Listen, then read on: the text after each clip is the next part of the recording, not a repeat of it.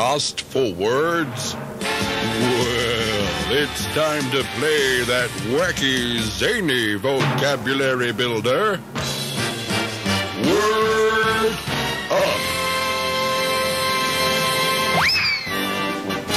Okay, this is the game we play where uh, we've got a, uh, a definition of a word, or actually three definitions of, of one word. One of the definitions is correct, the other two are absolute and utter. Bullshit. Oh, excuse me. Uh, and uh, we get a punter on the line to try and guess the correct meaning. And our lucky man this morning is Danny Haynes from East Geelong. How you doing, Danny? Very well, thank guys. How are you? Okay. We're just cruising here. Now, the word... Well, I suppose we better say hello to Chuck. Should we Uh, say? Yes, good morning. Chuck Testosterone, do you have a word for us today? Oh, good morning, David. Hello, Roxanne, honey. Ja- uh, Chuck. Wainwright. Sure. Before I continue this morning, David, I just want to say I was watching you uh, flying that plane the other day. Yeah. Doing those loop the loops over Geelong. Yeah. I thought that boy has more balls than Peter Toy. balls, because really, believe me, you were really. Chuck, yeah. listen, Chuck. What, Carol? What is it? Chuck, every day you get more and more and more verbose. We're both. uh, Yes, you were supposed to do a word, a word every morning, and you just go on and on and on. Do the word and shut up. Oh, Carol, I was only just uh, talking to the guy. I don't care what you're doing. Just listen to me.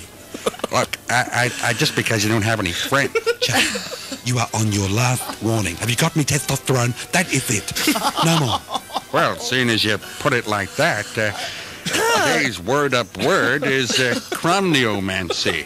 Cromnyomancy. Uh, C R O M N Y O M E N C Y. Uh, Cromnyomancy. I think... uh, sorry? What, what, what was the word again? Sorry. Cro- uh, Ch- uh, cromnyomancy. Omniomancy. Cromnyomancy. Um, cromnyomancy is indeed uh, telling someone's age, sorry, not someone's age, telling a tree's age by counting its rings. Oh, Yeah. That's, uh, That's fascinating. cromnyomancy. You, you can tell, you know how you tell. You, it's a load of bollocks, but it's fascinating. well, the, No, o- it's the only thing You can tell a tree's age by oh, yes, counting but but the its only is rings. problem it called is- cromnyomancy? It is.